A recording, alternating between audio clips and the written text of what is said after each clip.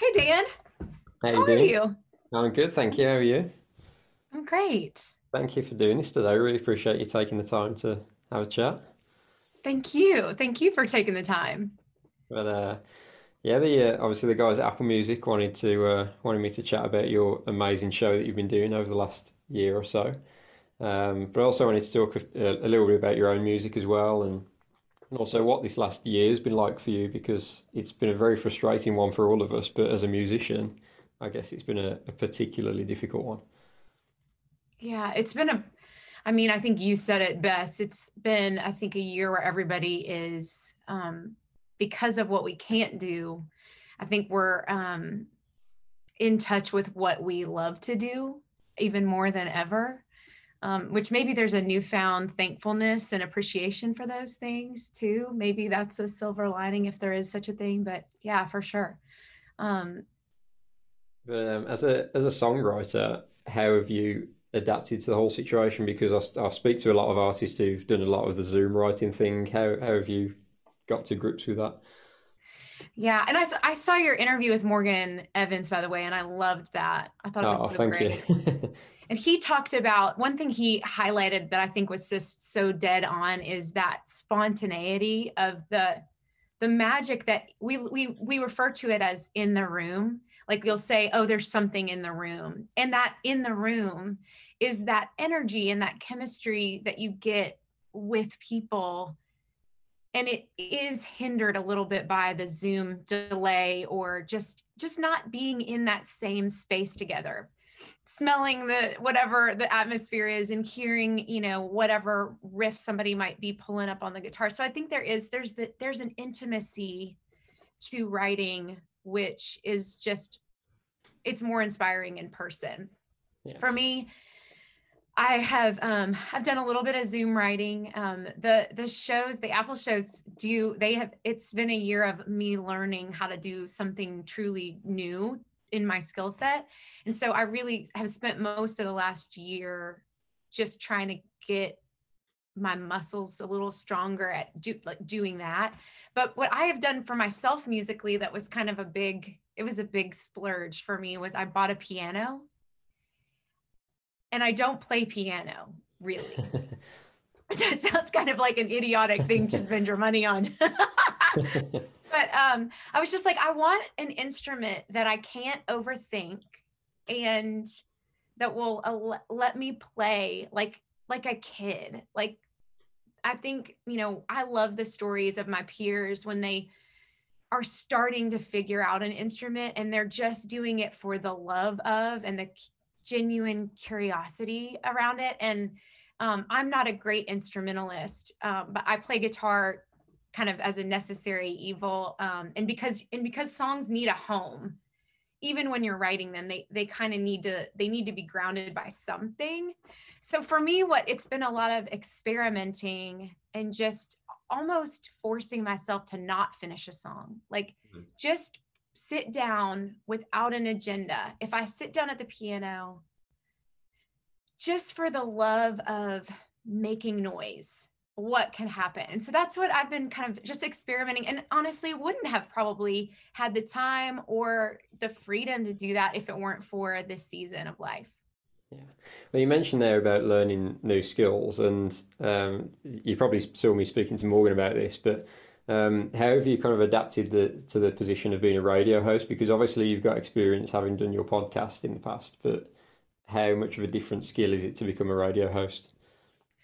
The the area that I um, feel that I am working on the most and that I probably I'm trying to do on purpose is the podcast was really fun um, because it was completely my agenda. And i could just go in with my again with curiosity and try and figure out you know what this person what knowledge or wisdom they could pass on or how i could help them tell the story of a song. What i have to learn and i'm still learning to do with the shows is i i have to show up as myself but the goal is really to be the vehicle that connects the listener to the music. And it's not about me but i but i have to there's it's there's diff, a difference between just disappearing like that's not my job but my job is to show up in a way that allows the listener to enjoy the music even more.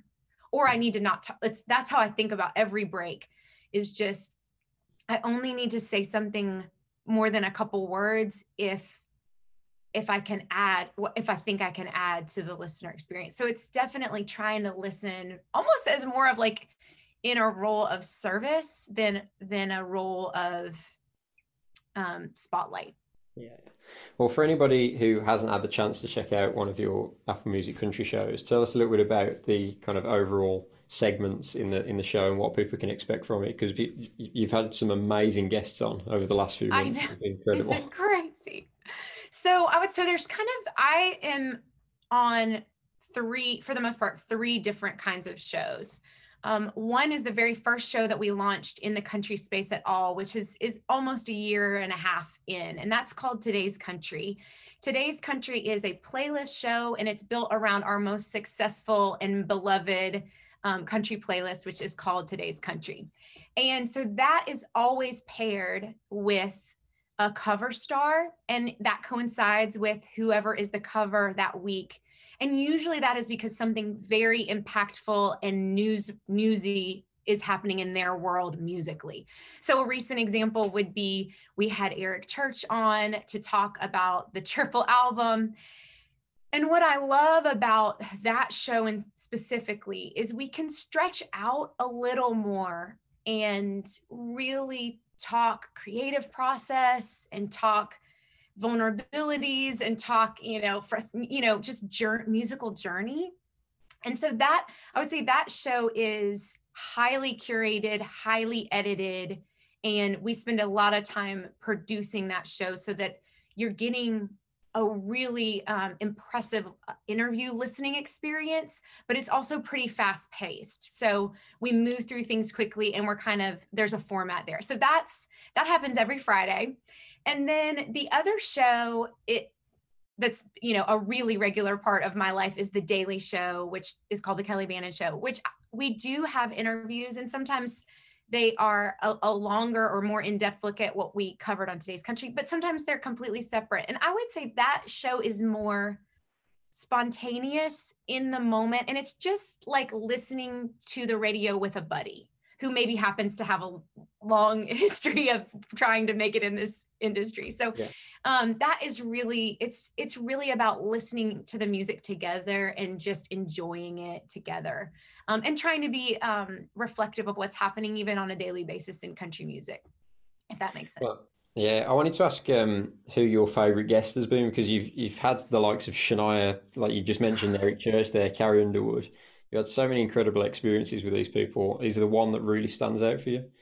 It's crazy. Honestly, I had forgotten about Shania. It's like there have been so many. I mean, Shania was crazy because we didn't know it was going to happen. We had very little warning. And it's Shania, you know, she's super busy. She's got a million things going on. And so I think I had less than 24 hours warning that we were going to actually get the interview. And Dan, I'll tell you what, I was I, might have even been wearing this shirt. I was sitting right here and my heart was just like racing as we were calling her because, you know, and I've had a couple instances of, of truly interviewing someone who was formative to my musical experience growing up. And I will tell you what, one, I mean, I was blown away. She's just, she had just gotten off the boat. she just gotten off her boat. As you do you know. Yes, you do. and she was glowing. She was just this effortless, beautiful, effervescent. I mean, it was just wild. And the, the thing that's hard, and you you know this, and it seems you're quite good at this. Oh, thank you. You have you have a few moments to set if you don't know the person already to establish some rapport with them. Mm.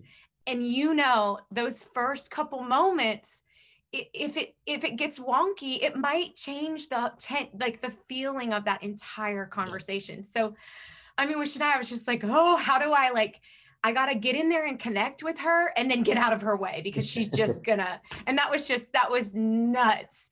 Um eric church was wild for me because and i haven't told him this but um i had a lot of i did a lot of preparation for that interview because this triple album is so massive and it's going to be so meaningful in the country space.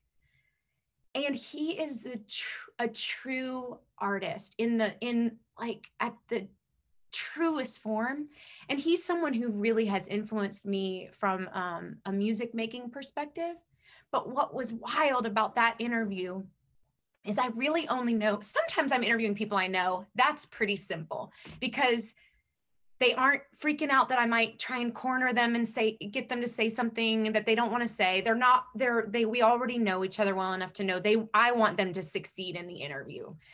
But with um, Shania, you know, had never met her. Um, and with Eric, I've only met him a handful of times, and he was already so successful when I was at the label at the same time as him. We just didn't overlap all that much. And so, what was just amazing to me in that interview is he just immediately locked in and was willing. It was almost like speaking with your kin. There was a family chemistry there that I just I couldn't have made happen. He just showed up willing to share and just blew me I mean left me feeling challenged as an artist like am I brave enough to be creative on this level? And just it was such a beautiful um such a beautiful interview i was just so so floored by his the way he he shared his story uh, he's he's killing the game right now i was listening to his, his triple album last night for the first time it is just it is so far ahead of most of the the the game at the moment is just so creative, so experimental, so brave. I just love everything that Eric Church does. Brilliant. Dan, I do not know what is happening. Oh, my Siri just turned on a Taylor Swift song. so I was like, is Dan providing a new soundtrack? I mean, nope, it was just my. I haven't got those kind of powers. I wish I did.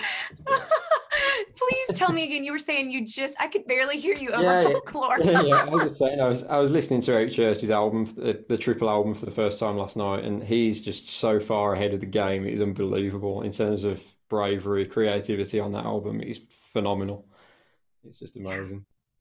And uh, it's so it's so inspiring. It is. And another thing I wanted to chat with you about is that you're obviously very passionate about promoting the females in country music on your show as well. And that's such a big thing at the moment with everything that CMT are doing, and there seems to be a real, real kind of movement going on.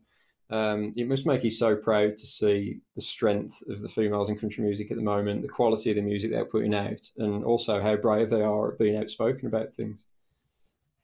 Yes. And I think you hit the nail on the head. Um, there's no shortage of female talent in country music. And we have been talking about the problem for a long time. And I think what is um, so amazing about what Apple has empowered me to do is we can talk about it, but we don't even have to because we can just play people whether it's women, whether it is like people that are not getting the representation that they deserve in the industry from a racial perspective, we can just play them where they belonged the whole time.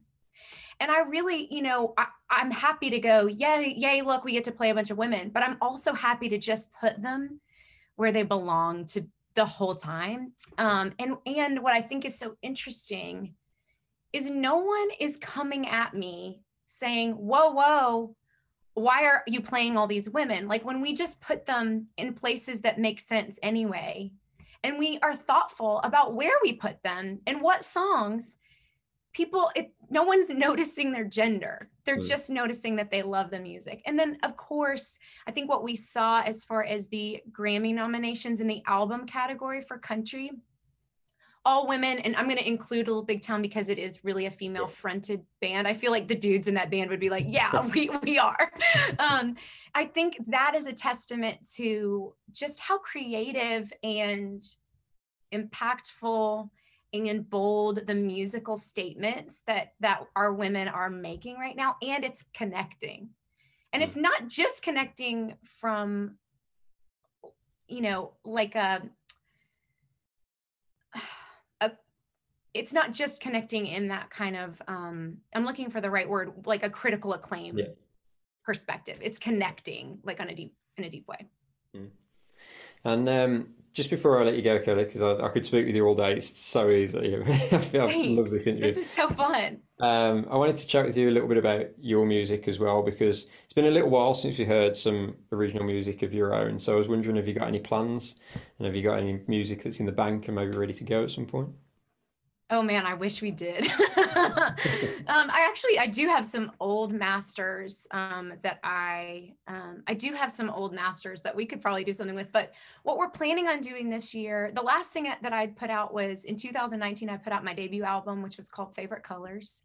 And then last spring, we actually took a demo that I had just sung like literally right through in my kitchen because I didn't have this little studio even set up um we put i like sang the demo vocal and we decided to just put that out and it was called the optimist because it just felt timely. But we're gonna we're i need to write the album. We have a few songs um but i need to i've got to write i've got to write the album the next project. And i'm i am looking to do something um kind of soulful and um and and really country and so we're kind of playing with the, that palette of what would it what what would it sound like and starting to dream up those storylines so but i've got a lot of work to do I look forward to hearing all of that when we eventually get the chance. But uh, Kelleigh, thank you so much for doing this today. Really, really appreciate your time, and uh, yeah, we'll uh, we'll keep enjoying the show.